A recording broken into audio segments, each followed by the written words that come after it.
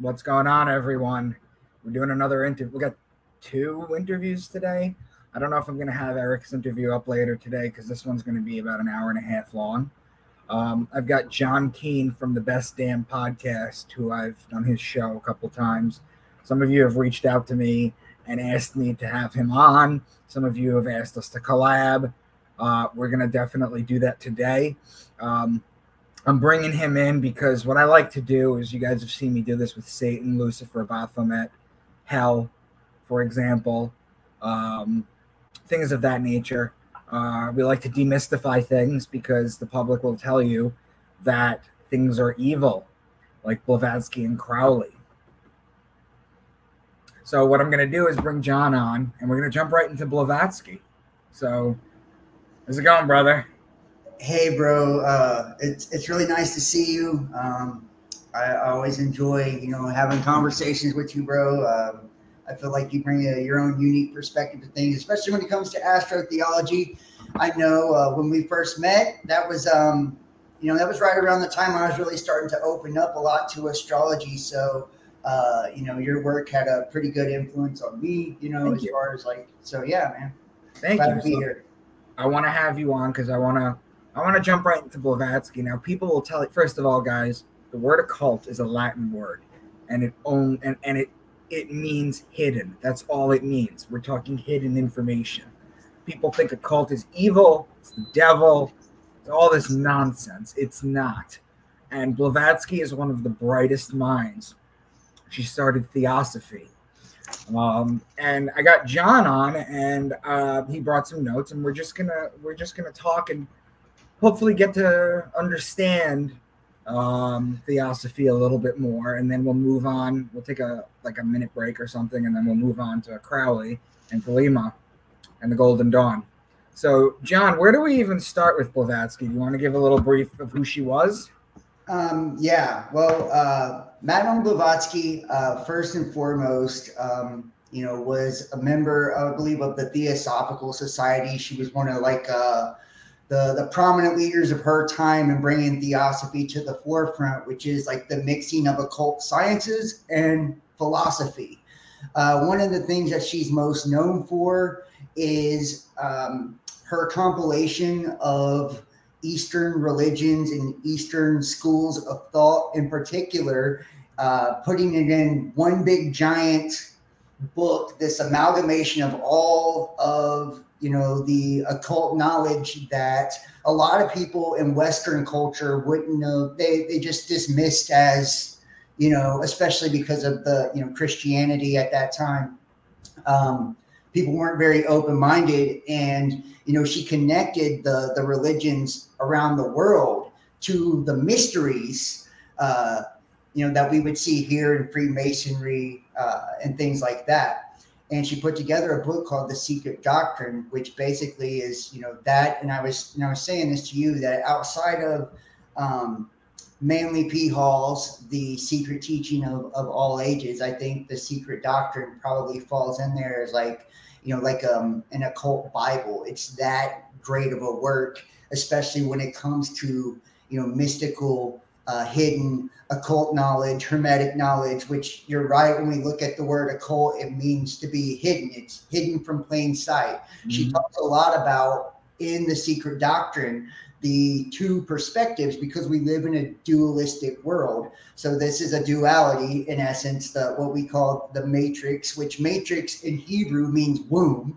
right? And then that gets into which we'll get into um, Crowley and all that later, talking about uh, you know, the Amalantrah working and uh, the egg of consciousness and how that correlates to wounds. But anytime we look at, you know, uh, things like the secret doctrine, it kind of breaks down to, and I pulled, I don't know if you need to share. Yeah, can I can I screen share? Yes, yeah, you could share. I'll put it. I'll put it up.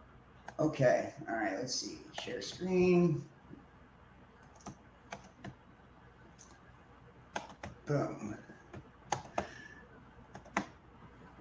This is something I pulled uh, earlier here. There we go. We're having feedback. Having feedback, you said? We're good. We're good. We're good. Okay. Okay. Um, this is actually from the Secret Doctrine. And this is called the coming force. And what she's talking about here is essentially the age that I feel like we're we're crossing into now. Uh, Micah, you're very familiar with astrology and probably so the precession of the equinox mm-hmm. and how it's the shifting of ages, how we are shifting or have shifted into this Aquarian age, and that mm-hmm. each age in zodiacal sign um, is representative of an energetic archetype or you know elements and, and things like that. So as we passed the Piscean age, which was two fish, right, duality. Uh, about the water, you know, the living waters, and you know, the earth being made up of water, the heavens and the waters. You know, it was prominent. We mastered steam power and all kinds of things during that age. Now we move into the age of you know things being done in the air on the collective. This is you know about you know technology, societal structure being reshaped in the Aquarian age. So we see uh, social structures that'll be more about the collective instead of you know like those on the very top of the pyramid. It's going to be about you know the base. Um, we're also going to see a lot more pertaining to collective consciousness. Um, that's why you see this this jump or this leap towards transhumanism as well because it's very technological. This is why uh, you know the father of Freemasonry, Albert Pike's 1871 letter to Mazzini, talked about the three world wars and the final one being a social cataclysm because that's what it takes almost right. like this this death or this collapse um, at the end of these cycles to, to rebirth something new. And that's the new age. That's a new world order. That's the utopian society that those who are illuminated allegedly are, are trying to attain when really what it actually means those who are illuminated are those who are able to actually communicate in higher levels of consciousness and madame blavatsky was one of those people right so a lot of what she's putting in these books she's channeling from um, a dimensional or a frequency space that's that that we would call like Christed, right? Anointed consciousness, where you can get there's less traffic up there, and you perceive things different, especially information. It's almost like you have a bird's eye view of it. So this is called the coming force, and this is talking about you know energy and how things have become quantum and all this. I won't read a lot, just a, a very little. It says, shall we say that force is moving matter or matter in motion and a manifestation of energy.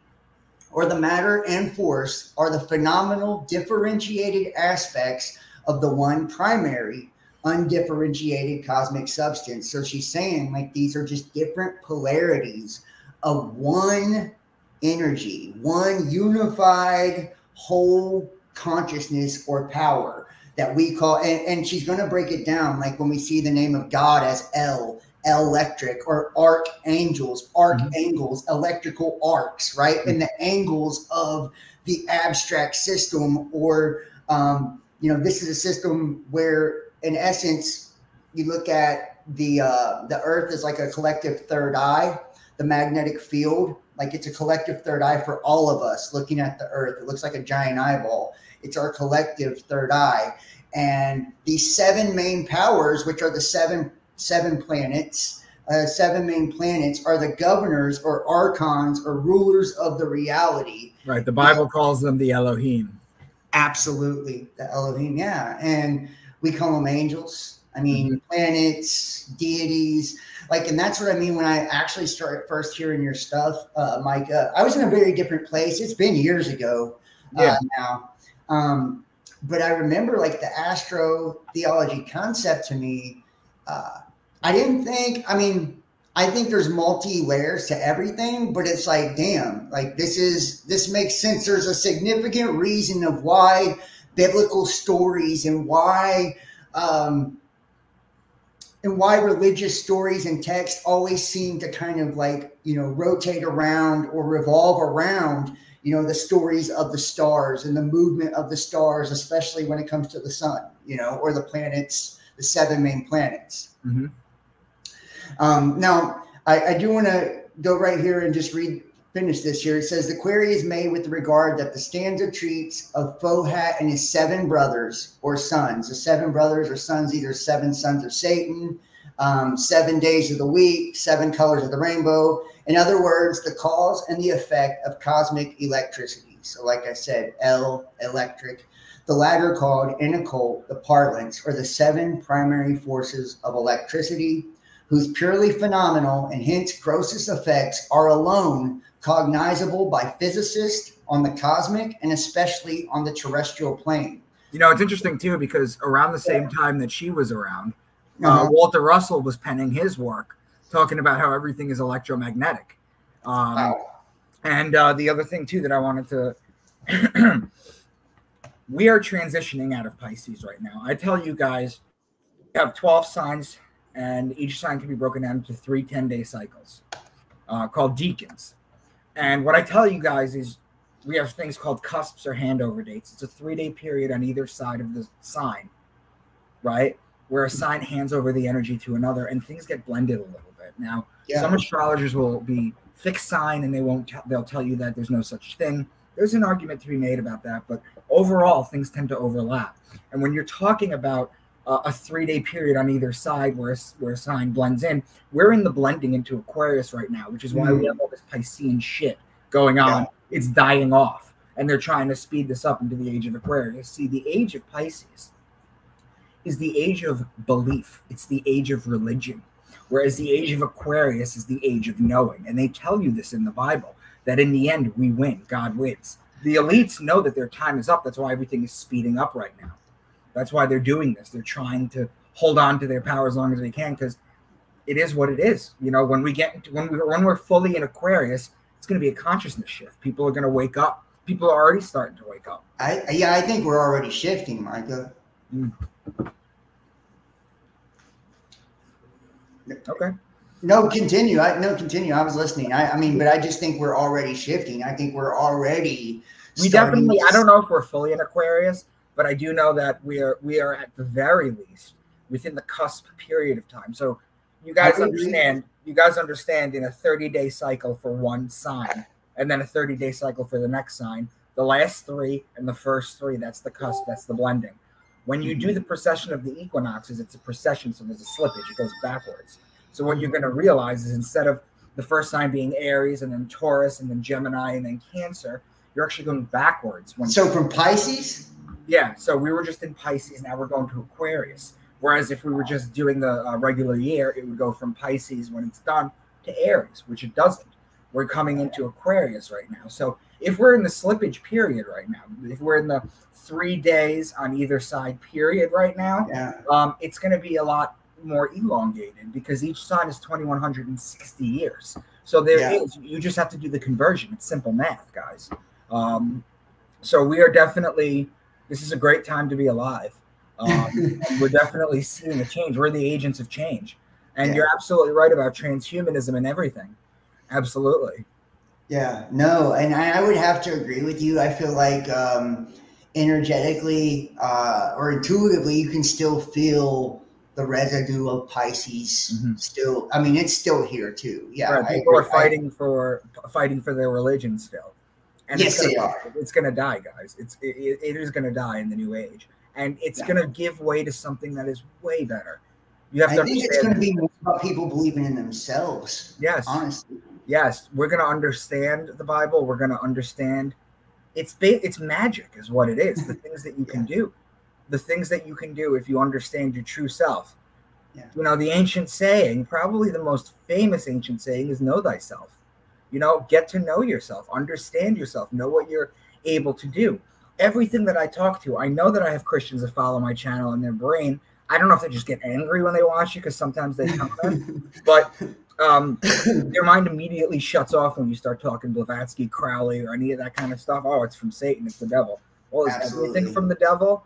You, you guys have to understand that the amazing thing is, is that all these ancient works, yes, libraries have burned down. Yes, we've lost a lot of it but we have so much. And the reason they don't want you to read in churches and in mosques and in temple, they want you to read outside of it, is because we can still read a ton of stuff, put it together, and come up with new things, which is what Blavatsky basically did. It's an amalgamation of everything, like you said. Yeah, yeah, absolutely. And I think with things like um, the secret doctrine. You see here, I pulled up another one. These are based on the same principles. Uh, another popular female in the occult, Alice Bailey.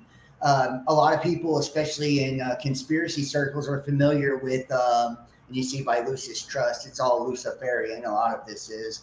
Um, uh, well, you see that uh, Alice Bailey wrote the 10 point plan of the New World Order, right? And it's when you, and, and, this is one of the things I think that's really insane about this. You have great minds like Carl Jung, uh, who's heavily associated with the, the cult and the collective unconscious and collective conscious and the anima and the animus, because yeah. psychology is such a big part of the esoteric and the occult study. It really is dissecting one's thoughts emotions, understanding how every part of yourself, your organs, to the, the stars above, to the elements in the earth, to all of the you know principalities, powers, and dominions, and how they all correlate with your your essence, and how you're a part of all of that, and how you literally as above, so below. We are all one. That's what all the ancients tell you.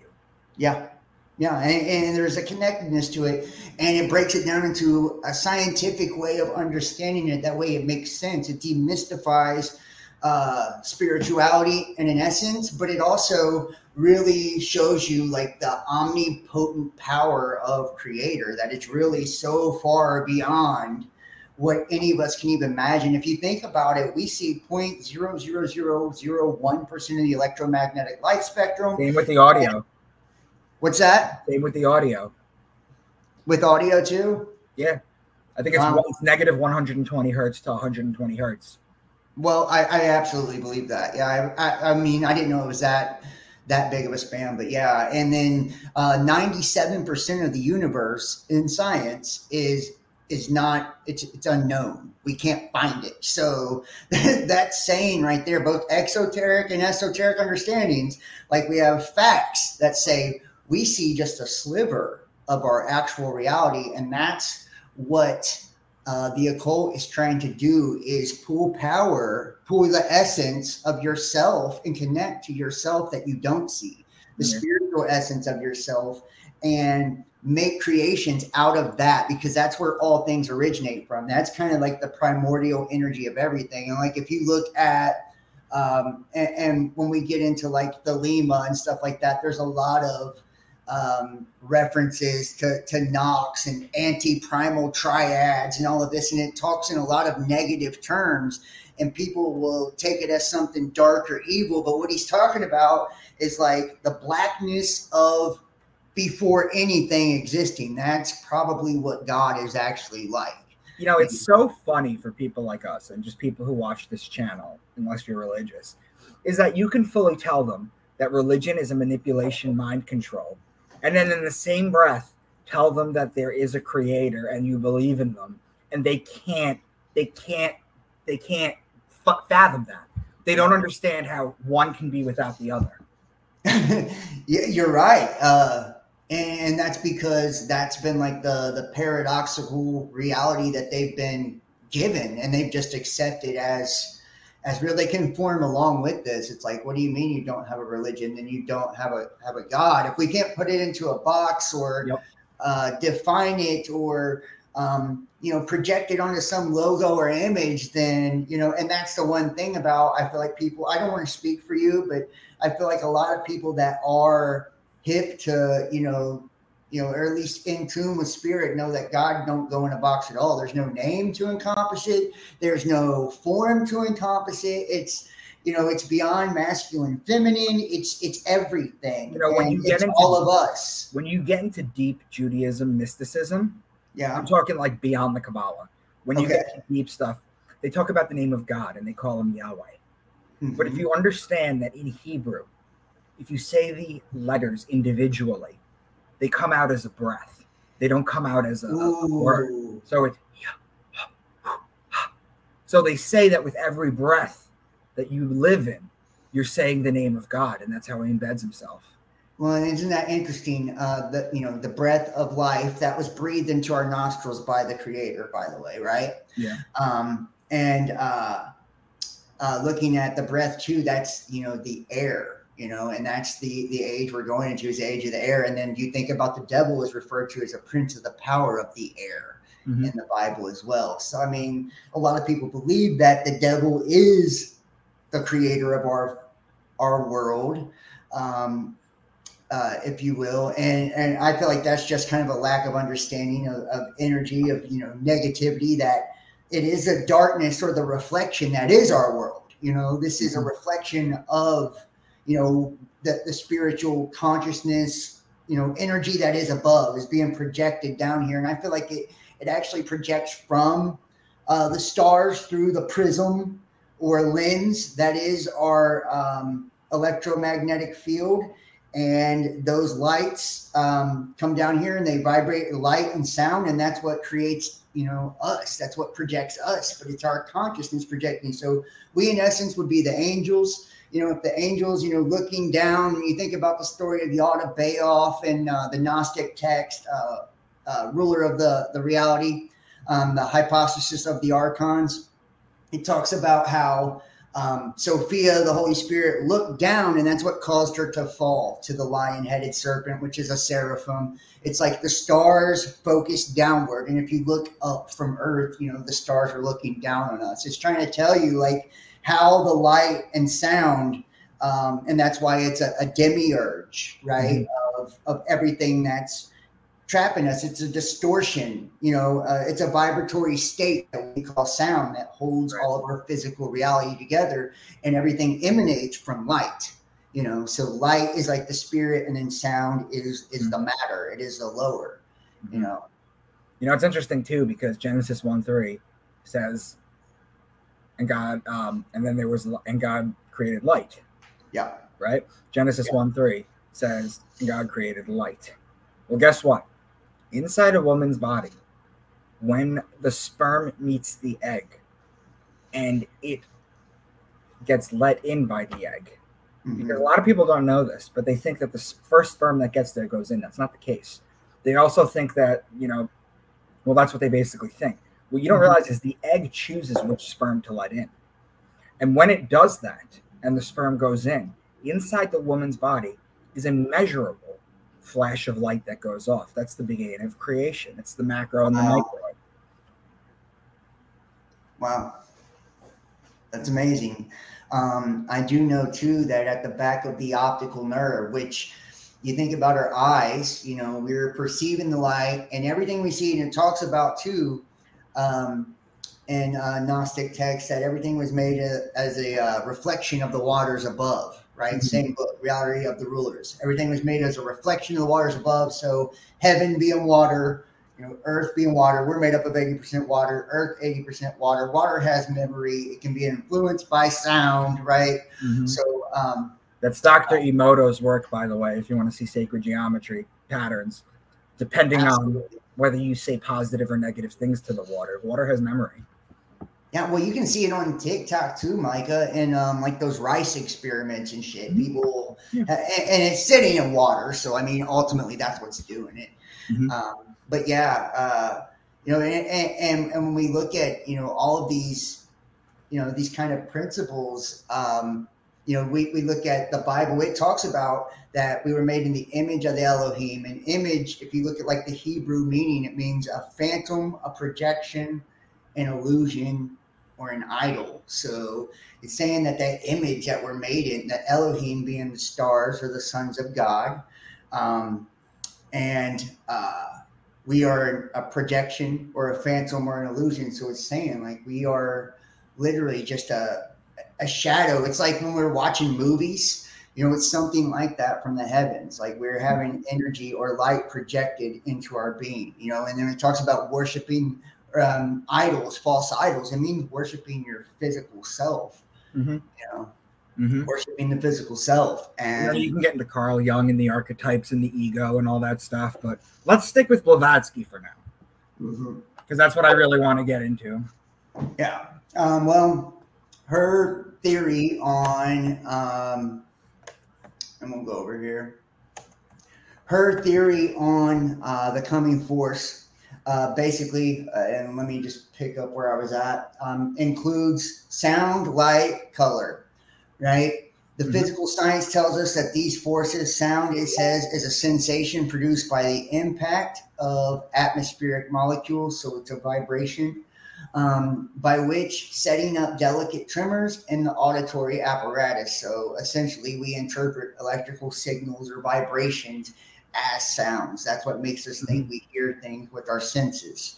Uh, we're picking up things like a, a, receiver, and that's why our third eye um, is essentially it's the magnetic pole of our body. Mm-hmm. Right. So that's why there's been so so many agendas. Like you you know, Micah, there's a lot of agendas going on right now to like destroy uh, the temple of God or the third temple. Huh? To calcify it.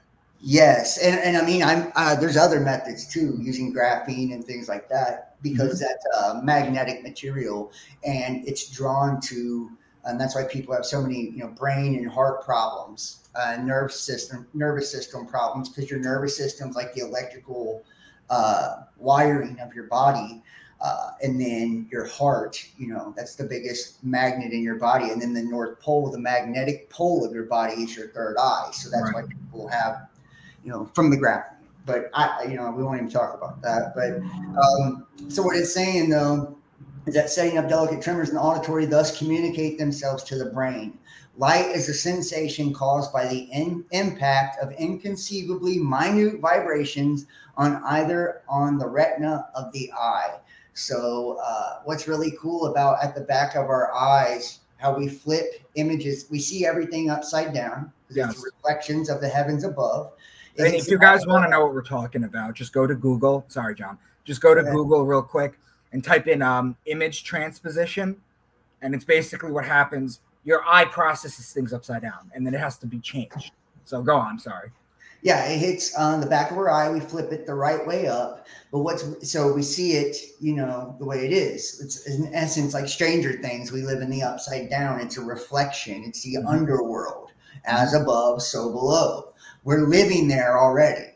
Um, so, uh, in essence, what it, you know, uh, at the back where your optical nerve is, it, it actually isn't directly connected to your brain. So there's a space in between there where creation's taking place are sparking to actually make up the image, and it's not directly connected to your brain. Wow. So that is, means is, it, is it like an, uh, uh, an electricity thing that just jumps?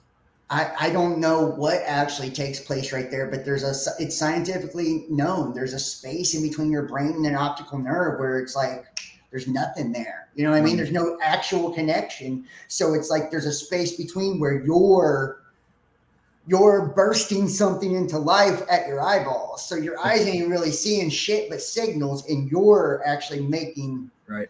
Just you so know, you guys know, your pineal gland is wired to your visual cortex too. By the way makes total sense, Mike. That makes total sense. I didn't know that. I didn't know that. But yeah, so I mean, like scientifically too, we we know that we're creating our own reality, and I feel like you know that's what the essence of the secret doctrine is is to get you to understand al- alchemically when we look at you know alchemy and there's lots of hermeticism and alchemy and all of that within this book as well.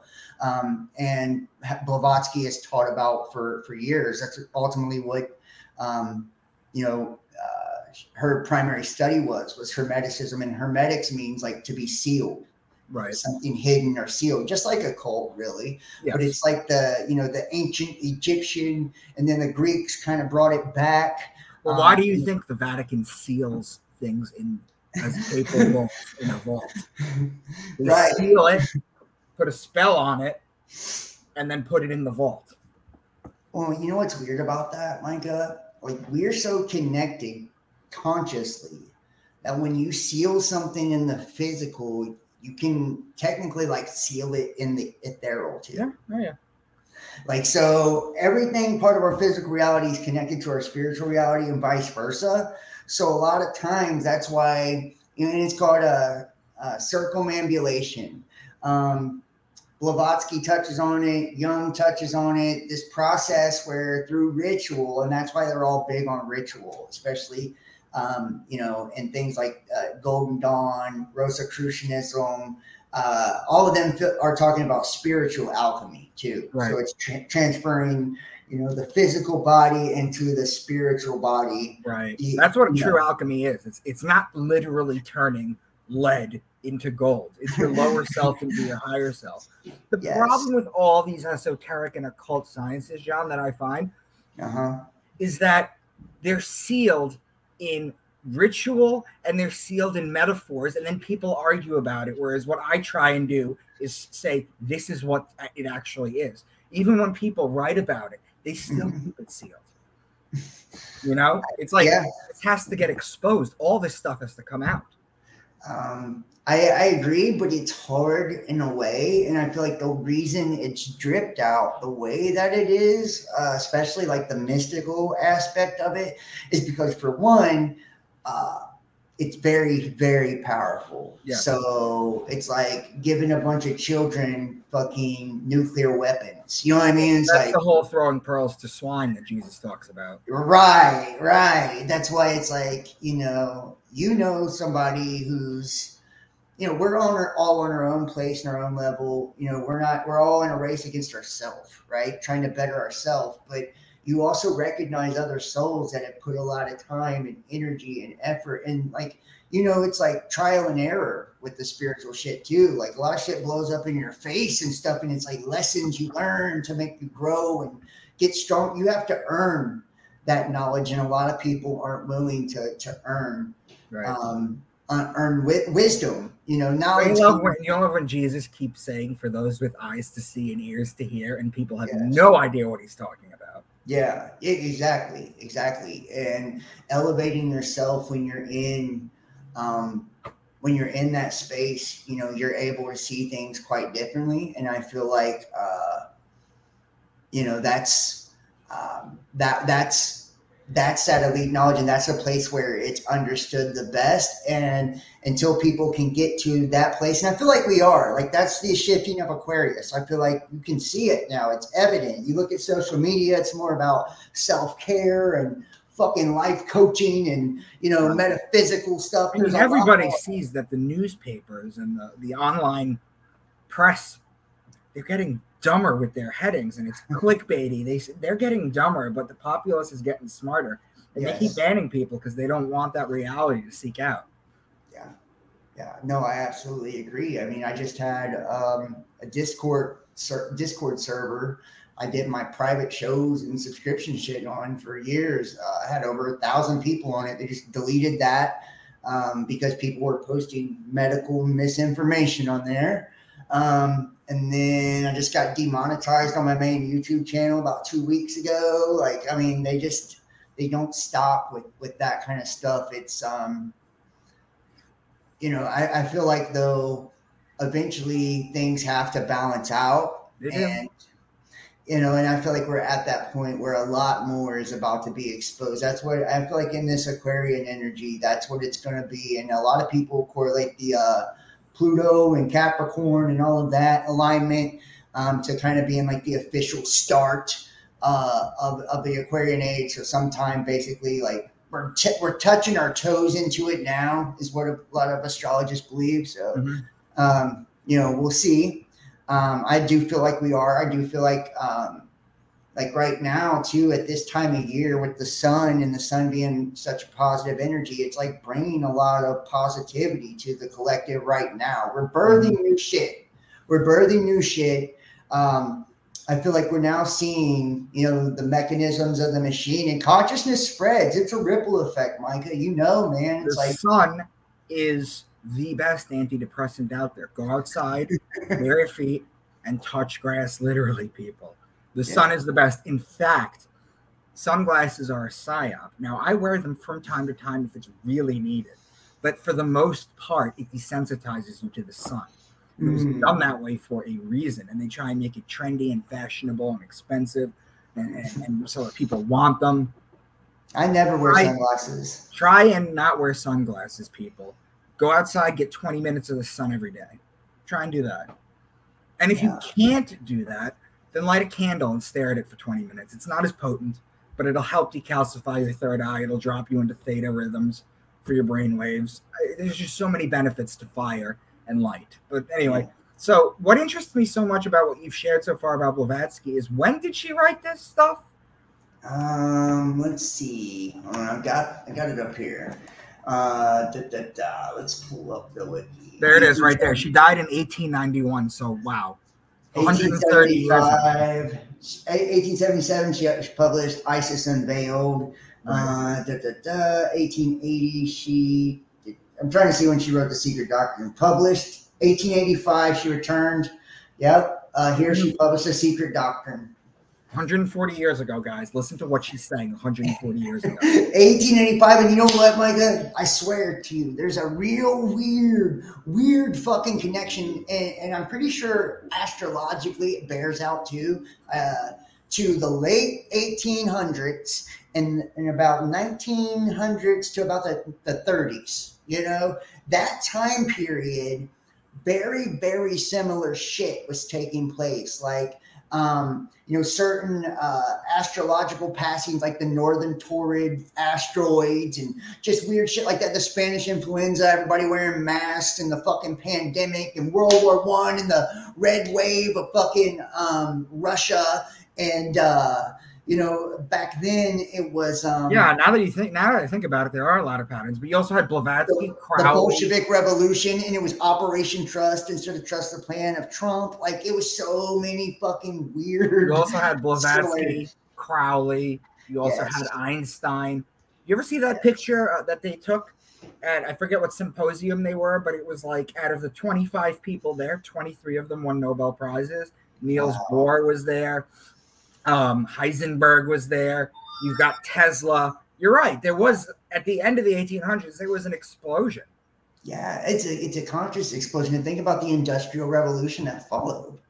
You know, it's like they brought us into the modern age with their thinking. You know, Well, the problem I have with the Industrial Revolution is they put Yeah. all this. It took away our. Go to see the Northern Lights. Go see Aurora Borealis, Mhm. and you'll see how clear the sky is. You could see everything. yeah, The Industrial Revolution ruined that. It put pollution I in agree with that. and we can't Yeah. see the sky. Yeah.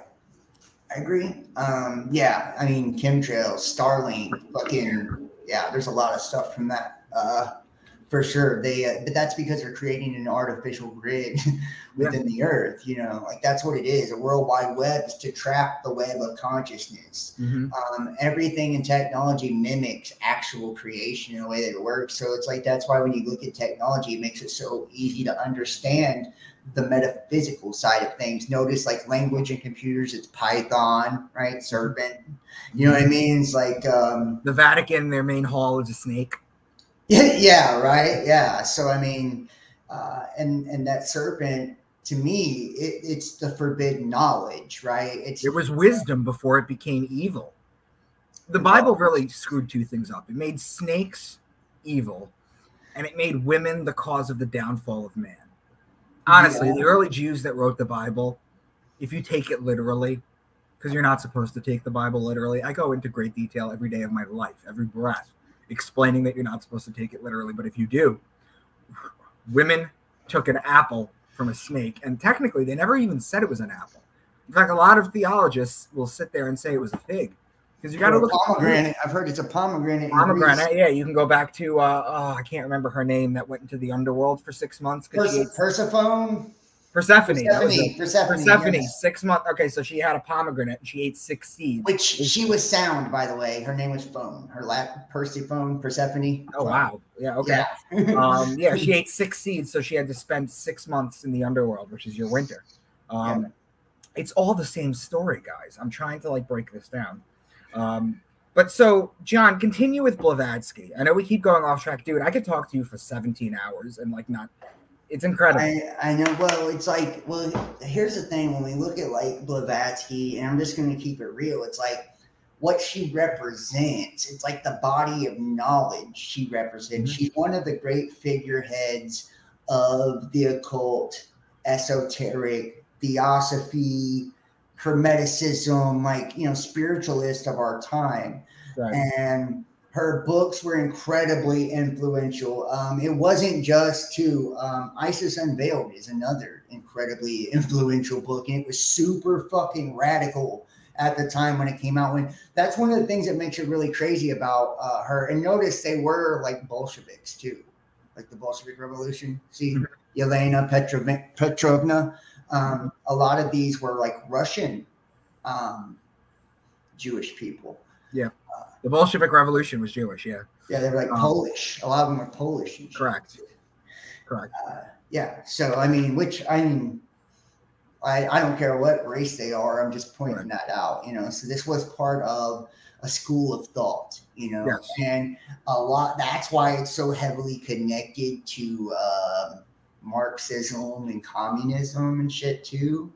Mm-hmm. Um, it's the redistribution of wealth and like giving it to the worker and all of that, um, and creating a you know a one one world system or one world body, uh, which you know naturally only make and, and, a lot of these ideas derive out of theosophical societies, and there's a million other societies too mm-hmm. um, that you know we haven't you know even mentioned um, that. Uh, you know, uh, that were very prominent in shaping history. So it's like mm-hmm. knowing that someone like this too had enough had enough foresight to like to be able to be humble enough and do this without internet research too. I'm always blown away by people like her, Manly P. Hall, Jordan yeah. Maxwell. Jesus Christ, these guys would go to a library or they would just you can't even Amazon books to your house to get them that quickly. Like, can you can you imagine how hard it is to compile it? This is there's no excuse, people, why you can't attain this level of wisdom. There's none. The only thing that the elites can do is is to flood it with disinformation. But if you know where to look and you use discernment, you'll be fine. I'm also noticing here too, May 8th, the day she died. That's known as White Lotus Day to Theosophists. Um, mm. That's the day that she died. I actually referenced that in one of my books, but I I can't remember which one and what it was for. But um, so what are some tenements of theosophy?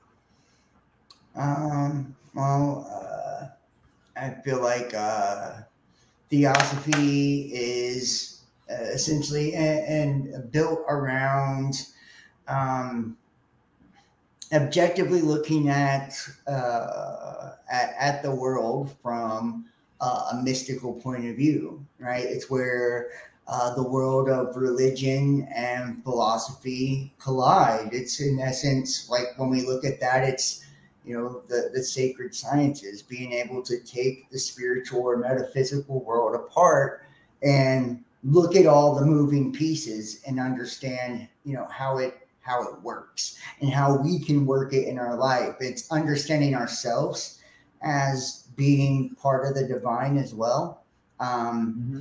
That when you look at it too, and this is really what's crazy about it, um, is so many different belief systems are inside of it mm-hmm. that um, we have a word for it now. It's called syncretism. Everything fits together. Yeah, yeah, there's a lot of, and I feel like you probably know this too, Micah, that um, whenever you start to go down one rabbit hole, a lot of times it leads you into another, into another, it's endless. Into, yeah. And, you know, one thing I think Blavatsky did really well by like telling you the seven suns and all of that is like shows how that that really works in real time. Like taking seven main planets, the seven most prominent planets or stars in our sky, uh, the seven days a week they represent, the seven colors of the rainbow they represent, and those colors seven chakras. It goes on. Seven chakras, uh, seven metals, seven minerals, you know, deities, uh, all of that, and it's showing you like how multi-layered reality is, and how everything exists in every layer of reality too. So we exist simultaneously at every frequency, in every dimension, all at the same time, past, present, and future. It's up to us on where we want to direct our focus yes. to, you know.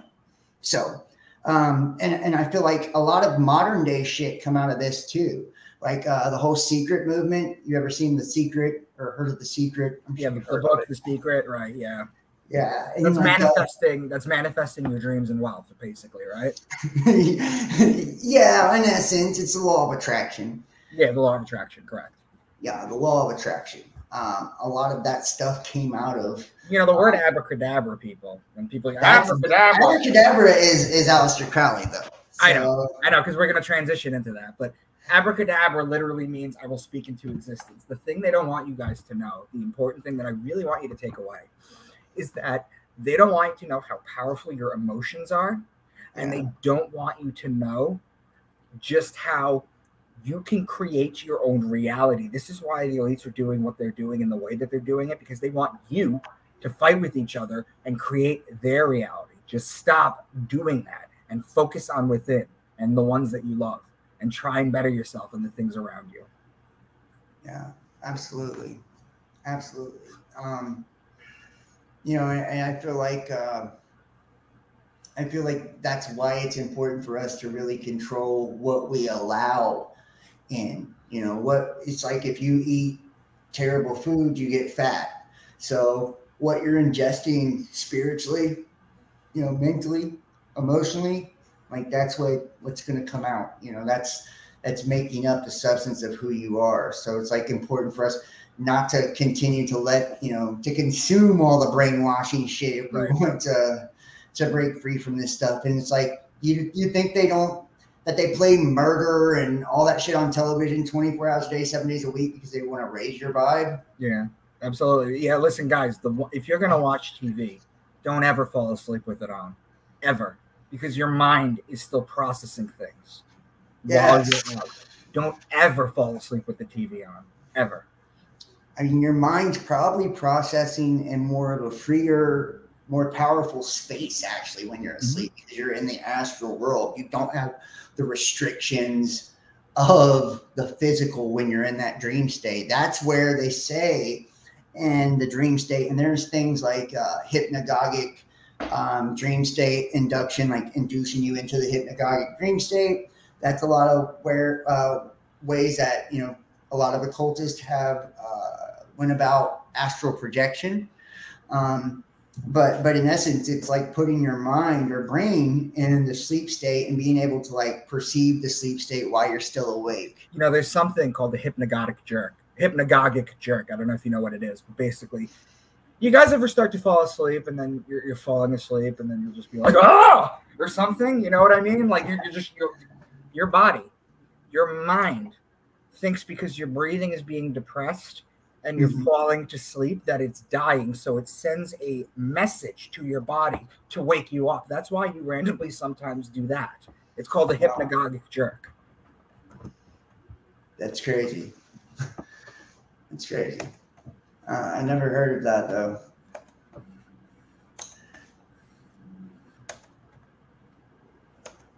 And yeah, so um, uh, this is uh, in essence, man. You know, uh, and, and she describes Theosophy as a synthesis of science, religion, and philosophy, proclaiming that it was the reviving of an ancient wisdom which underlay all the world's religions.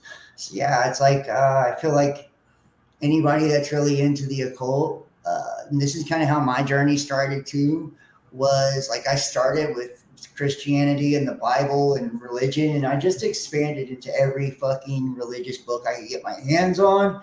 So I relate a lot to a person like Madame Blavatsky um, because I feel like that's what she is, you know, or a Manly P. Hall, someone that just gobbles up every bit of spiritual information they can get, you know, and they put it all together to see what's the commonalities of it and, you know, the big picture that it paints, you know, and it's like, you know, quantum physicists say that the aside from the fact they're having problem with the forces and they're they can't they can't make gravity work with everything else. It doesn't fit with it, and there's a reason for it. But I'm not going to get into that right now. But okay. what, what I wanted to share with you guys is quantum physicists say that the the the sequence that can explain the universe creation and everything is going to be one sentence long and that's what they're looking for it's a syncretism it's it's an it's it's a very simple answer because everything fits together the reason everything is so chaotic right now is because we're still trying to fit it together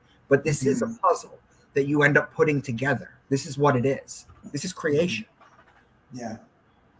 Yeah, and that's why we're we're remembering, we're putting the body back together, putting the pieces back together when we're when we're uh, tapping into to knowledge, right? We're remembering ancient knowledge, ancient wisdom. Yes. Um, which is in our DNA. I feel like it's it is memory it's, gets passed down in DNA. Absolutely. So and it flows. It flows through our blood too, as well. Yep. You know, it's like it's every bit of us and everywhere. And um, you know, a lot of people believe that you know people like her had you know they, they had they were elect or you know people that had great you know masters. Um, some of them were dark ass witches that that mess with this stuff too. Not all of them were great people. Um, but we always say that, don't we, Jon? You can't sure. demonize an entire group of people because of certain individuals' actions. There are evil Jews in the world. There are Christians in the world. There are evil yeah. Masons in the world. That doesn't make everybody evil. That doesn't make. I agree. I agree. I agree.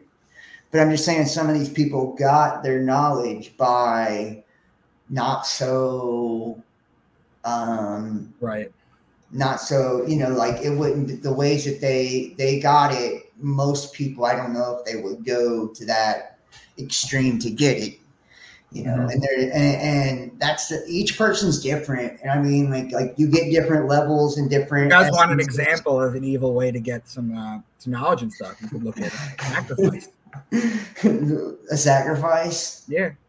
Yeah i know. And that's what i mean. And like some of them you know there's a right now I can say this like when we shift, when we have these major energetic shifts, we birth spiritual children within ourselves. It's like um it's hard to explain, but like you know, it's like the spiritual self. Like so as we shift and ascend more, when we're birthing like the the the forever essence of us, we're in a major, major time right now. Like seriously, mm-hmm. it's really key and critical. And what they're tricking a lot of people into doing is like sacrificing that part of themselves to the to the system, to the mm-hmm. machine, you know, um, giving that energy over for something that's not.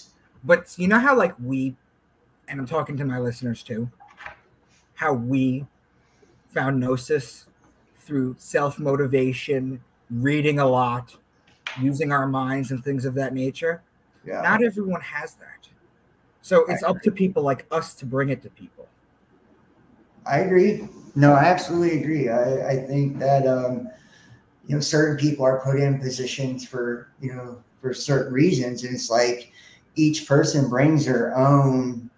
You know, you know, Micah Dank brings something very unique to Micah Dank, and Jon Keen brings something very unique to Jon Keen. And it's like each piece is like a working piece of the puzzle and we all need it, you know, and um, I feel like by speaking it into existence, we bring power to it, and by others hearing it and receiving it, and then them interpreting it for themselves and then speaking their truth, you know, it's like we're amplifying something. There is a ripple effect, and that's why. Mm-hmm. Go ahead. Go I, ahead. I, always tell people that there's a reason that um, when you're in school and you're you're learning how to write, it's called spelling because it's a spell. Writing is it's a spell. Yeah, yeah, yeah. Well, that's we're we're still in a Babylonian system, and that's like our our akashic record is that spiritual record that we can all tap into. It's got every it's infinite knowledge in essence is what it is, and when you can get into that frequency, you can pull from that. You know, um, you can pull from that knowledge and that's where people like tesla and you know all types of great minds throughout history say they have gotten their knowledge from is from you know divine inspiration mm-hmm. from mm-hmm. an, altered state uh, and i feel like that's what a lot of eastern religions actually teach and that's why they're so taboo or were so taboo in the west is because you know it was about activating something uh, in you at a at a metaphysical level, right? As opposed mm-hmm. to like praying out outwardly to some deity in the sky and glorifying some idol, um, and kind of waiting on you know God to do everything for you. It more uh, taught you about you know the the inward side and showing you different practices you could do to to initiate or ignite something within you to get your your your your third eye to open to trigger open. Mm-hmm. So I feel like there's different and, and if you look at like Blavatsky, who takes all of those ideas and puts them together, that's like telling you like a process. It's like if you look at all the religions, all the spiritual schools of thought, put it all together, you know, you've got a complete manual from start to finish on how to to start incredible spiritual process to give you gifts upon gifts upon gifts upon gifts and to give you such a deep understanding about how the fabric of reality works both exoteric and esoterically and to be able to weave it all together, uh, you know, and in a in a in a big picture that's going to to to benefit you, to allow you to kind of control, you know, the flow of of your own life. I feel like, you know, beautiful man. So listen, I want to take like a 30 second break because I have to go. Yes. Um, yeah, I'm gonna get something to drink too. So. Okay, so I'm gonna let this record, guys. We'll be right back, and then we'll start up on Crowley. If you want to pull up the first slide. Okay. There we go. All right. I'll be right back.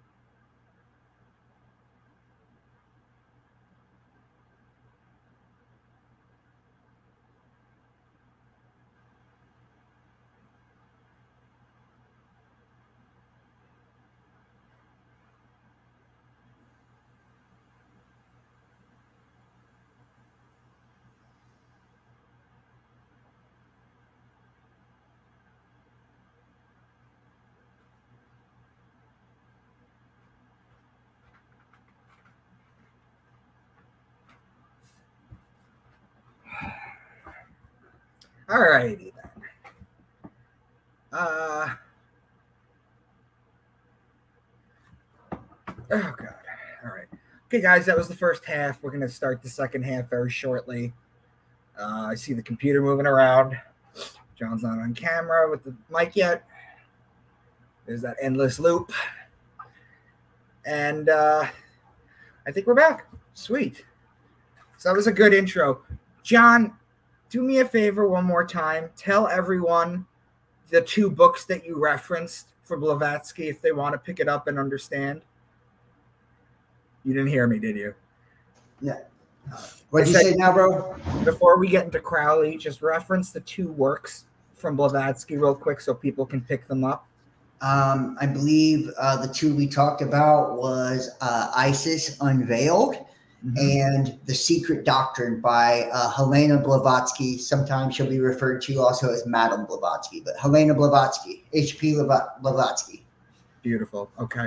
All right. So let's get into Crowley. Nice. So, a lot of people have misconceptions about Crowley. A lot of people think that he is pure evil. In fact, at the uh-huh. time he was alive, the press dubbed him the most wicked man or the wickedest man on the planet. Mm-hmm. Um, he spent a lot of time in Paris, and rumors have it that he is Barbara Bush's father. So, I've heard that. That's on the conspiracy side, guys. If you want to look up Crowley and Barbara Bush, they're eerily similar, the looks. Um, in fact, Barbara Bush's mother was a socialite who went to Paris at the turn of the 19th, 20th century, 20th century, and met Crowley. So it's possible. In the same way that Trudeau could be Castro's son, because uh, they look very much alike. a lot of people think Crowley is just evil, but I want to bring some light to some of the wisdom that Crowley brought.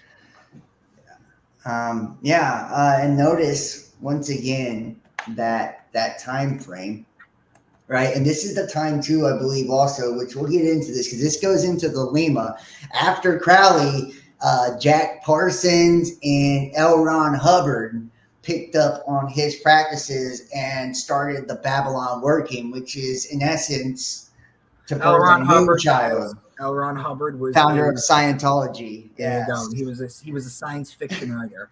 And he started the science fiction religion. But anyway, go on, continue. Yeah, so, wrote more science fiction books than probably anybody on the face of planet Earth. Yeah.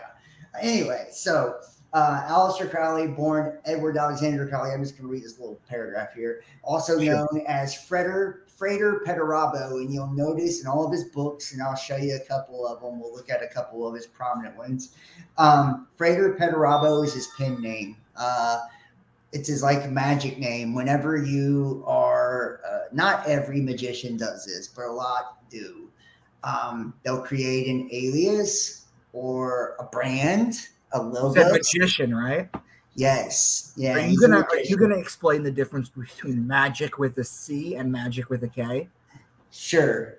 Yeah, I feel like I've been talking a lot of magic with a K since we started this, but yeah, that's um, you know, magic magic with a C is like parlor tricks and bullshit. You know, pull a rabbit out of a hat.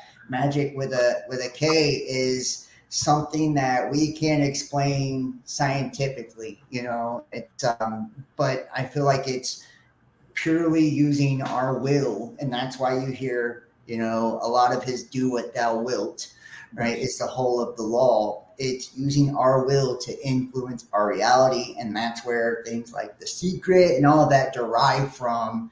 Even Blavatsky, all of this has come from one main vein. You know, the occult covers it all, right? And you know, the funny thing about do what thou wilt is, mm-hmm. is the mm-hmm. Christians will take that and make him the most evil man in the world, and say, no, you are not to do what thou wilt. You are to follow Christ and do what He wilt, in the sense. That's basically um, what it is. This is to follow your own calling, follow your own purpose. That's well, Christianity and Thelema are diametrically opposed. If you yes. think about it, it's do what thou will, or thy will be done. Yeah, exactly. Right? That's perfect. That's even better than what I said. Yeah, well, that's that's how it's you know both do what thou will, and then thy will be done. You know, those are the two mottos of each each religion, so they're diametrically opposed, and that's why he said he was the beast six six six. He actually, I think it's going to say this. Uh, I don't know, it might, but his father. I know a lot more about him than I do Blavatsky, but I know some about Blavatsky too. Um, his father was like a preacher or something like that. He was actually brought into MI6 in Great Britain and then the CIA in the United States. He had a whole, a lot of people believe he's fucking Winston Churchill. um, there's a lot of shit. He went to the Great Pyramids and that's where, you know, was, it belonged to the Golden Dawn. Uh, uh, the OTO, the Ordo Templo, Ordo Templi Orientis. Um, you know, he's most prominent, you know, uh, secret societies on the face of the earth and high ranking as fuck. Everywhere he went, he became, you know, the grand master there. And that's why, you know, it's his workings and stuff that literally created the Babylon working. It was people carrying on his work. Jack Parsons, uh, JPL Laboratories, J- Jack Parsons, or uh, Jet Propulsion's Laboratory, the military industrial complex.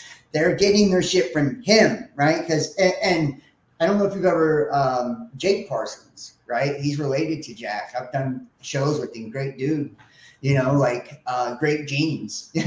you know, it's like um, they uh, certain certain groups have really benefited off of knowing how it all works. So we'll, we'll read this really fast here uh, because it gives a lot of the stuff that I, I want to say. But Frater Perturabo, that's the pen name, uh, and the Great Beast, right? So his negative side that he's pushing all his energy to.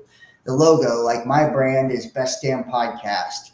Um, right? You create books and things like that. Those are logos. They're sigils. They're symbols. I think, I think frater, mean, frater means brother in Latin. I'm pretty sure.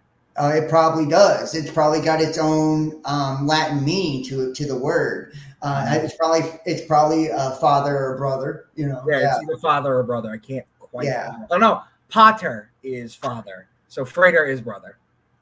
That's why it's called a fraternity. Yeah, yeah absolutely. Yes, yes, yeah, yep, absolutely. And that's why you know police and all that are fraternal orders as well. They're brotherhoods too. Um, and they were six pointed, five pointed stars on their badge. The Great Beast was influential English occultist, ceremonial magician, poet, painter, novelist, mountaineer. This dude even fucking created plays, bro, that were completely immersive, where he did spells and had drums and fucking incense burning, where people would come to these plays and get fully immersed in ritual. He was out there and he was addicted to heroin. I know that as well. Um, in his role, the founder of the Thelemite faith, he came to see himself as the prophet who was entrusted with informing humanity that it was entering the new aeon of Horus. In the early 20th century, a time when old ethical religious systems would be replaced by new ones focused upon the principle of individual liberty. Born into a wealthy upper class family as a young man, he became an influential member of the esoteric Hermetic Order of the Golden Dawn after befriending the order's leader, Samuel Liddell MacGregor Mathers. And that's a fucking prominent name, the Mathers family, Cotton Mathers, and all that, like Salem, right? This goes way back, guys. I'm telling you, witches and warlocks a little bit in America. Just yeah, a little, a little bit, adds a little bit of context, guys. The time frame that Aleister Crowley lived in, uh, heroin was created by Bayer and it was over the counter as a uh, the pain medicine. So it's not like he was going drug dealing. You know, he probably just went into a pharmacy and picked up heroin. They didn't know. Well, maybe they started figuring out its addictive properties, but it's it's it's not like heroin like we think today. Yeah, yeah, but he was yeah. That's it's wild, man. It really is a different world. Um, subsequently, believing that he was contacted by the Holy Guardian Angel, an entity known as Aiwass, uh, while staying in Egypt in 1904 he received a text known as the Book of the Law from what he believed was a divine source, and around which he would come to develop his new religion of Thelema. He would go on by new ones focused upon the principle of individual liberty. Uh, Crowley was also bisexual, recreational drug experimenter, and social critic. In many of these roles, he was in revolt against the moral and religious values of his time. What you also don't know about Crowley that they're not going to tell you. What, where is this from? They're not going to tell you here. He this is Crystal Links. He invented a sexual position. Really? So I'm not going to take my clothes off for all you. basically the one where the man's on top and pushes it down and goes like this. He invented that. How do you know that, bro? I was at the parties. okay. Well, shit. Whatever, go, man. That was too far. Too far. No, no, that's cool. It's funny. um, yeah, uh, Dave was known as the wickedest man in the world. Um, and he's still an influential occultist. Yeah, he's a libertarian. Also, he was, where does it say this? Hold on. Da, da, da do what thou wilt because it has gained widespread notoriety during his lifetime. Crowley was a British writer, mountaineer. Yeah, okay. So uh, he was an influential member of the cult organizations the Golden Dawn, the Ordo Templi Orientis, best known for the occult writings, the Book of the Law, Sacred Text of the Thelema, and he gained notoriety during his lifetime, infamously dubbed the wicked man in the world. He Crowley also claimed to be a Freemason but the regularity of his initiations with the United Grand Lodge of England has been disputed. Hmm.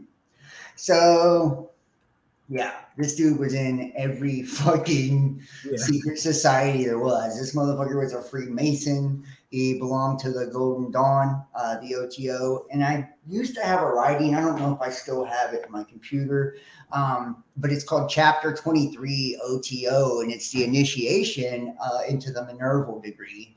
And that's like the owl worship.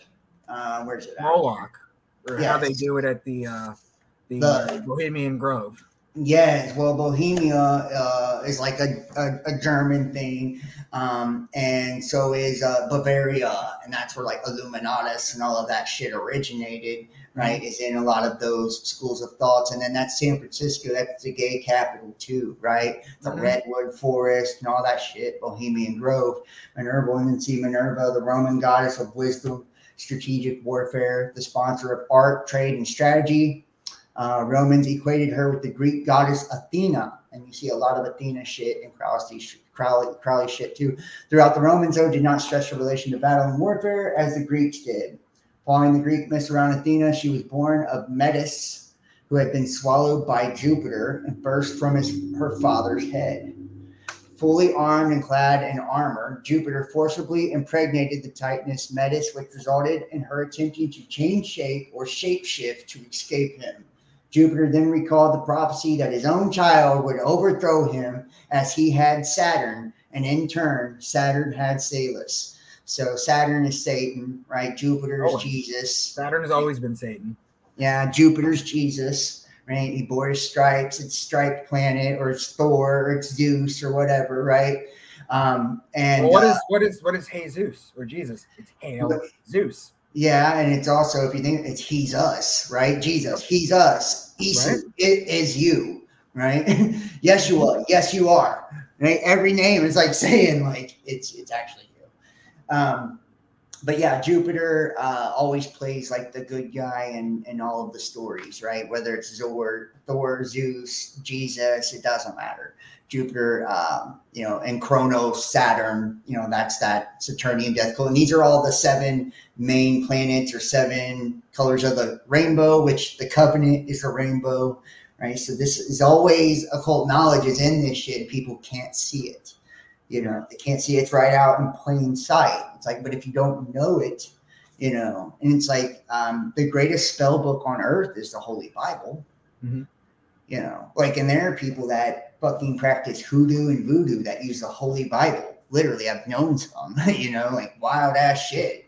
You know, people you don't want to screw with, you know, like that can do some crazy stuff through the Bible because it's, you know, in a Freemasonic Bible is pretty much the same thing as a regular Bible, by the way. Mm-hmm. You know, so um, fearing that their child would be made and would grow stronger than he was and rule the heavens in his place. Ju- Jupiter swallowed Metis whole after tricking her into turning herself into a fly. The Titans gave birth to Minerva and forged weapons and armor for her child while within Jupiter's body. In some version of the story, Metis continued to live inside of Jupiter's mind as a source of his wisdom. Others say she was simply a vessel for the birth of Minerva. The constant pounding and ringing left Jupiter in agonizing pain. To relieve the pain, Vulcan used a hammer to split Jupiter's head and from the cleft, Minerva emerged, whole adult and in full battle armor. She was the virgin goddess of music, poetry, medicine, wisdom, commerce, weaving, and crafts. She's often depicted as her sacred nature an owl, the owl of Minerva, which symbolizes her association with wisdom and knowledge, and less frequently with the snake and the olive tree.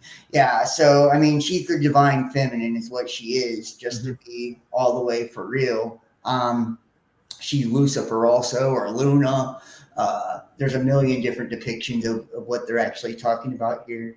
Um, and when they're talking about Minerva jumps out forged in weapons, that is the projection or the lower dark side of us. That's our shadow side that mm-hmm. jumped out to protect us and defend us. That's the masculine side. You know, we were trapped here.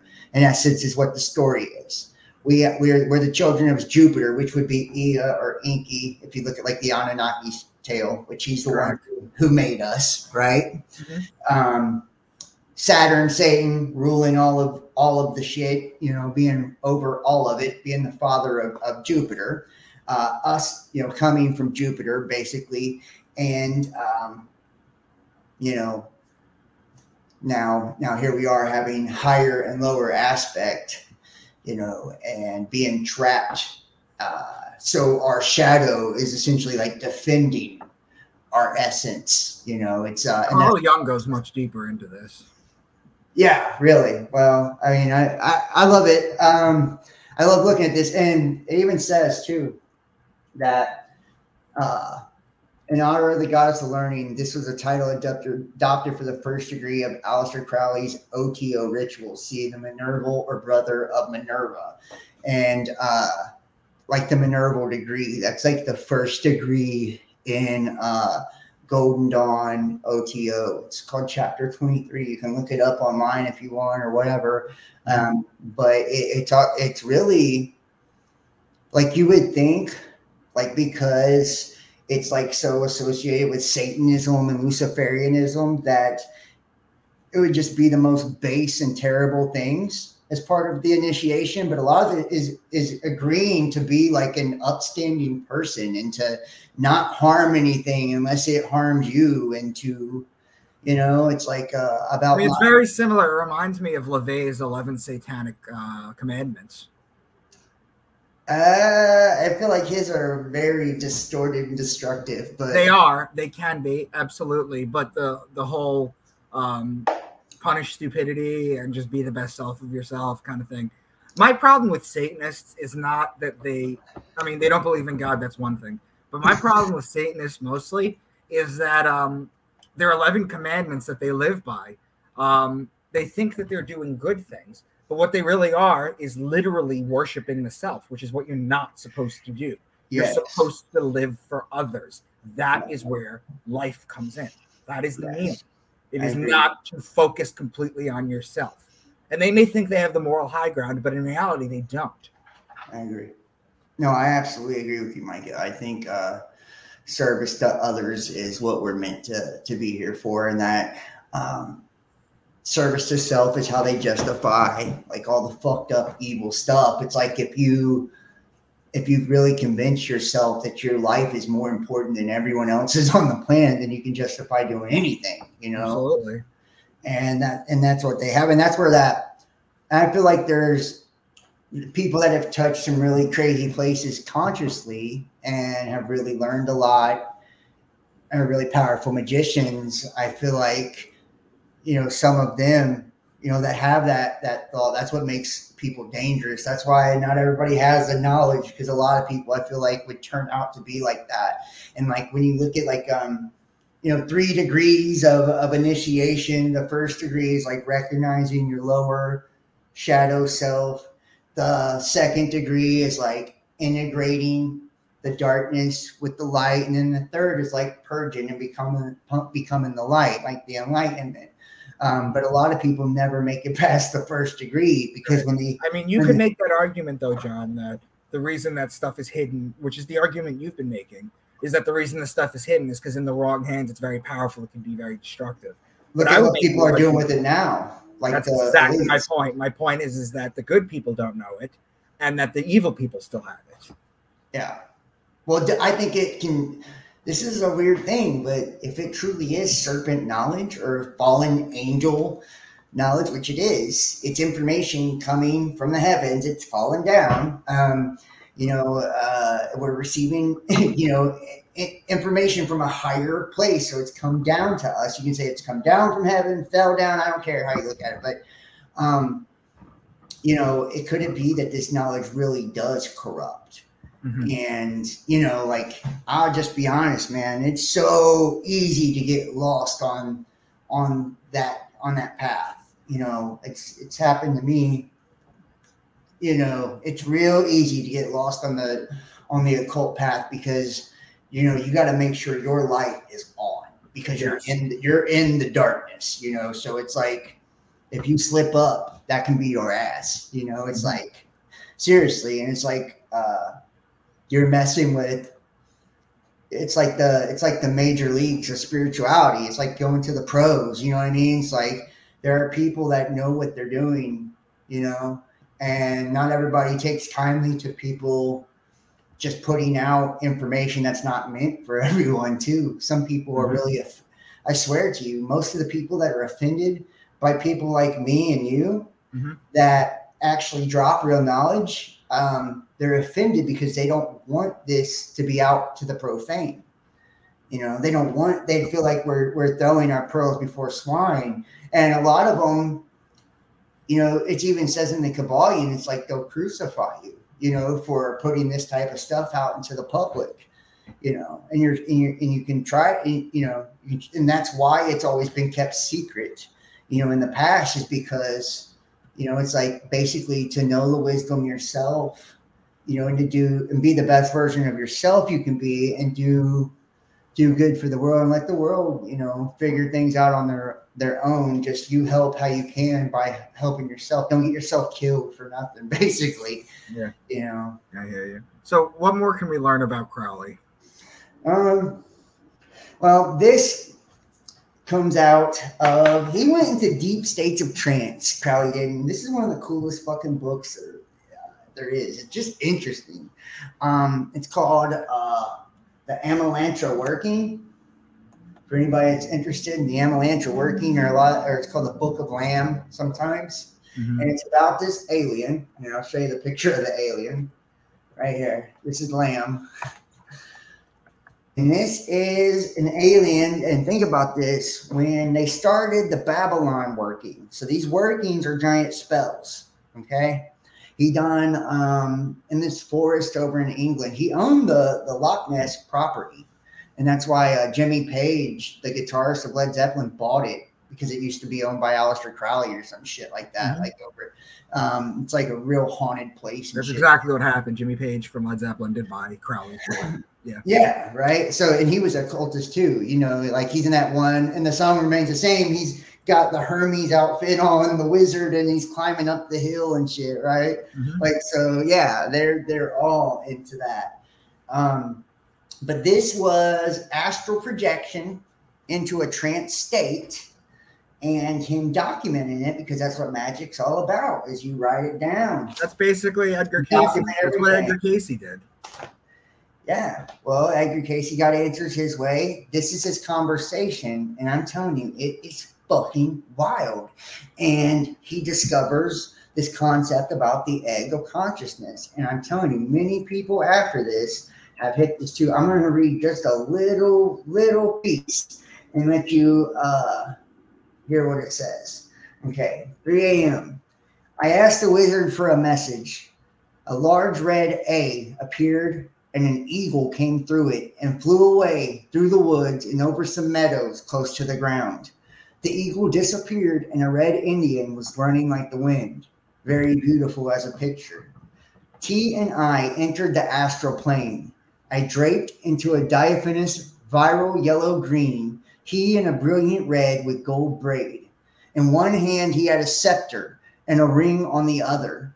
We went through the ceiling and up about 900 feet in the air and looked up and saw an eye in the clouds. We went to the place of the eye and saw a platform like building. There were many doors with signs of various sorts on them, such as the swastika, etc., etc. We went to a distant door at the end of the corridor on which there was no sign. A dwarf stood to the right and a girl to the left of the door. I asked the dwarf where the door led to. He did not answer, but showed a column with a blazing top. I asked the woman, and she said, heaven interpreted it meant where we wanted to go. I opened the door easily and saw a corridor in darkness. We passed through and saw light outside at the end of the door. A sheep was just inside the door. Also, sheep down on the ground below.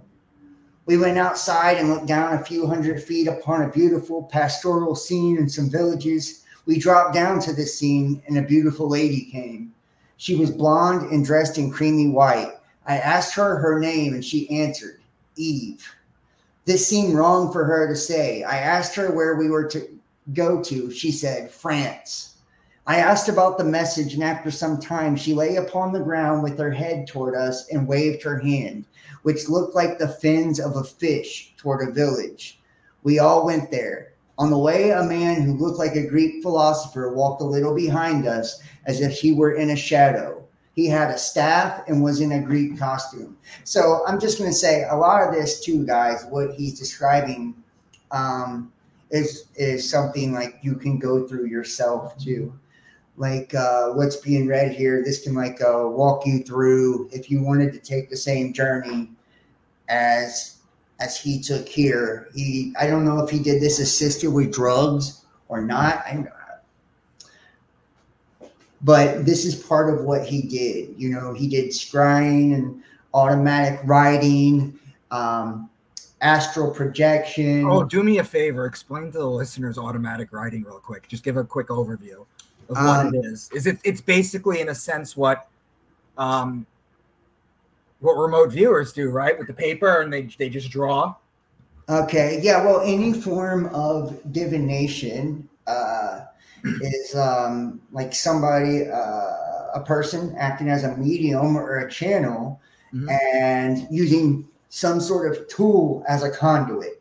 You know, so if it's automatic writing, it's I get into that vibratory state, you know, blank state. A lot of them close their eyes so they can actually see on the inside what's going on, and then they automatically start writing words down. You guys have words. ever had a um, if you guys ever had a medium come to channel a dead relative? Now, not all of them are good. I'm not gonna lie. There's a lot. Of I had uh, Jon. If you had a medium come to channel you guys, or if like you've ever had a house party and you had a medium and you all got readings, you'll notice that they write down what they see. It's part of the whole thing. Um, well, I hate to say it though, but like a lot of the occult though is mentalism. So right. it makes a lot of sense for someone that's very advanced in the occult to develop some sort of medium mediumship ability because you're fine tuning and honing those skills so much so that you know it's like you you it really leads you to the to that path of like finding a way to tune it channel it use it. That way you can actually apply it. Like me with you know tarot cards. That's one of the things i you know tarot cards uh, and astrology but tarot is my you know my main thing. You know i do tarot and I, I love astrology. It's you know been a way for me to to use my my skills into the physical. I feel like you know it's got to have an outlet somewhere it's like when you really you know and, and mentalism too uh, you know, a lot of people learning how to master their mind. That's, you know, that's the law of attraction right there. And that's what a lot of the Jungian psychology is trying to get you to do too, is, you know, go through that. And any type of dark night of the soul, that's what's taking place too. Whenever you look at a lot of this, anything that Crowley did was very ritually oriented because he was, even though he was in so many different occult structures, he still seemed to be like a rogue you know what I mean? It's like he still kind of done what he wanted. There was a ritual he did, I believe, in England, one of the biggest ones. I don't know the name of it right off the top, but he was, in essence, he was like done it for like fucking. It was supposed to be like a two-year ritual or some shit. This guy gets like six months into it or something every day in this forest, like trying to invoke every demon on earth. I think something to that effect. Um, which, if you if you like uh, hear the story of like Solomon, who was the wisest man to ever live, he built his temple uh, with demons, right? And saying he used his inner demons to build, you know, the third temple to bring to bring enlightenment. You know, and like Moses with the burning bush, like he found enlightenment, and he used his own very own demons to to get himself there. That's how he became wise. Um, you know, so Crowley was, you know, opening lots of portals and doors and you know a lot of people believe maybe he did it intentionally and that that ritual never got closed or and it was dangerous and that he wasn't the same after that. A lot of people said that he was very tortured uh, that you know he was even crazy you know and i feel like when you're fucking with some really intense shit this dude went into the great pyramid and got spoken to by Aiwass, right and was told like you know, he was to usher in the Aeon of Horus. you know what I mean? Like, who the fuck has that happened to them? You know, so this guy was, he was a unique cat to say the least, right? Like, he was doing some wild shit. If you can't see here by this book, this giant fucking alien, and he's going in and talking to like, you know, six wing cherubim and all this shit during, you know, uh, you know, this uh, this journey you know, that he takes. And like I said, he created some of the most intricate rituals on the face of the earth. I mean, they were actual plays that you could go to and they would have ritual drums and smells and herbs and fucking teas and everything like totally immersive to get you in an altered state of consciousness. And he was trying to like revolutionize this kind of shit. And it was just so far ahead of its time, people weren't ready. And yeah, he fully embodied the B666 uh, archetype. And, and I feel like it was like his big fuck you to religion, especially Christianity, because his father was like some sort of pastor, you know, and it's like, um, when you look at like all of this too, him being used by British MI6 and fucking the CIA, uh, it's showing like the occult aspect of mind control as well. You know, uh, and I feel like that we've talked about this psychology and all of this, and then even the adaptation of frequency we see now in today's world, you know, sixth generation silent warfare that's used on peak directed energy.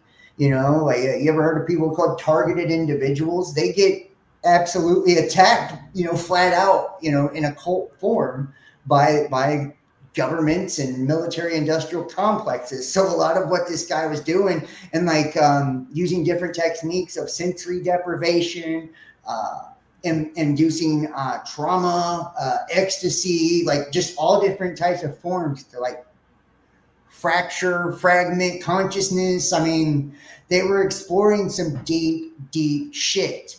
And I feel like even everything from like Timothy Leary and all of that comes from, you know, this guy's studies. This guy set the stage for all of the modern day mind control that we have now, I believe. You know, it's like, huh? No, it's incredible.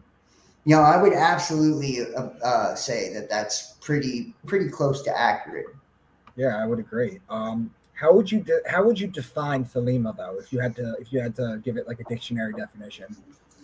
Um, to me, it is uh, it uh, do what thou wilt. So it's like satanic. To me, it's Satanism. Thelema is Satanism, but it's a form of like satanic Kabbalah.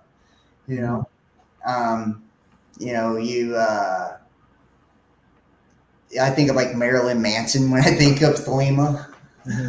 you know, I mean, I'm just keeping it real. Anton LaVey, you know, shit like that. It's like there's a bunch of shit truck fucks that that do it. Do you think that, Anton LaVey drew a lot of his um, tenements or how he structured the Church of Satan when he created it based off of Crowley? Um, I think he was like really. I think Anton LaVey was super low vibe.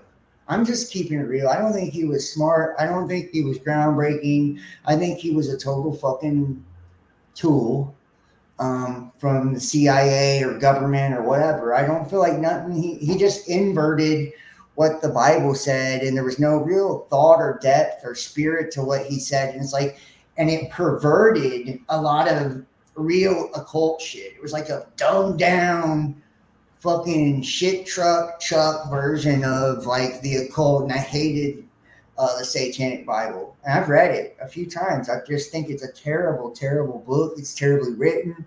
Um, there's no wisdom in it. You know, you don't walk away from it like feel like, damn, I just got some profound shit from this book. You know what I mean? Like you don't feel like that after you read that book. And a lot of spiritual books, I don't care. Like you will if you read one of these books, and maybe not this one in particular, but right here, the Book of Lies, the Book of the Law. Those two books will blow your ass out of the fucking water with the concepts he's talking about. And I think that these books, maybe they're before he went crazy. You know, 1913. You see the years. This once again, this is that time period. I feel like humanity. We were breaking out of something, man. We were, you know, creating television and radio, and you know, the industrial revolution, we were like doing big things.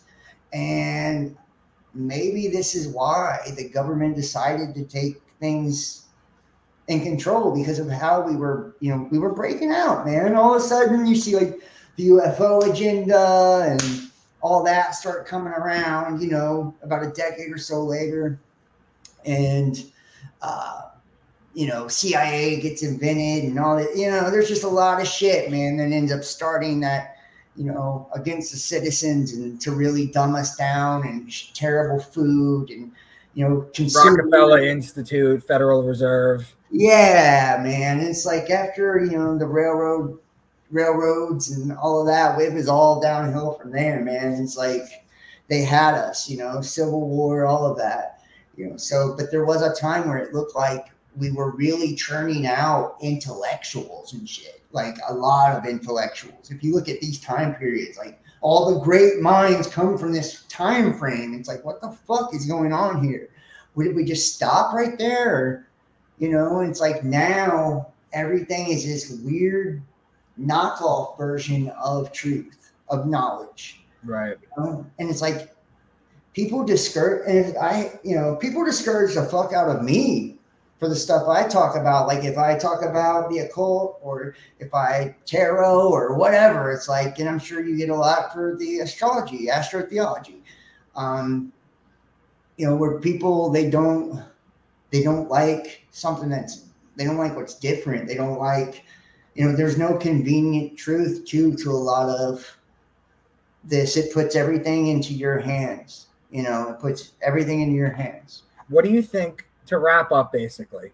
What do you think that um, if people were to take away positive contributions from both Blavatsky and Crowley, what would you say they were?